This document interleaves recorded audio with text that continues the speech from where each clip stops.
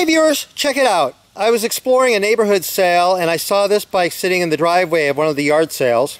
Now what interested me was it was a skip tooth. So you see these big gaps between the teeth on the chain ring. They're also on the, the uh, rear cog as well.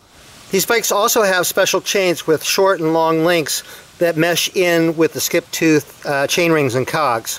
I don't see a lot of these skip tooth bikes because they're generally older bikes. A lot of them are like pre-war and when I do see them, they're they're often like a hundred plus bucks for them.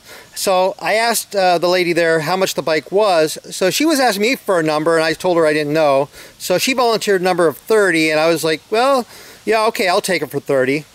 According to the, the head badge, it's a Rollfast Roamer, but I'm not really familiar with these old bikes like this.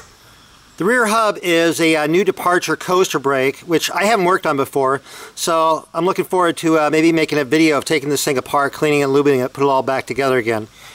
Now the only numbers I could find on the bike were on the bottom bracket shell and it says 35SN. Now I don't know the year of the bike, but something I read suggested that if you reverse these digits, that's the year of the bike.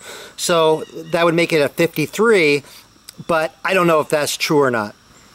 Now overall the bike's in pretty good shape. It is missing a uh, nut here that holds the uh, seat down here to the spring.